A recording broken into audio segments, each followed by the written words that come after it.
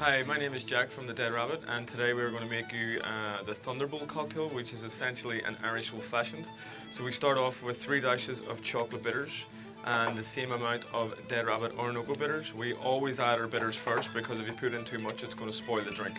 So we then add quarter ounce of pimento dram, which is basically an allspice liqueur, and then we add ginger liqueur, which we use King's here at the Dead Rabbit, and then half an ounce of banana liqueur and then one and a half ounces of Powers John's Lane Irish whiskey, which is a pot still Irish whiskey that was very, uh, the style was very popular back in the 19th century in New York.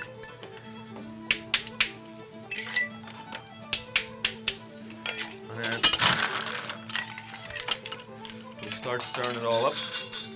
So it's very important when you're stirring uh, a Thunderbolt or an old fashioned in general that you get the right amount of water because it because it acts as a binding agent, and also that you get the drink uh, as cold as possible because your cocktail's got to be ice cold. So after 10 to 15 seconds, it should be ready. We just prepare our rocks glass with some ice, and we strain out. And that is your Thunderbolt.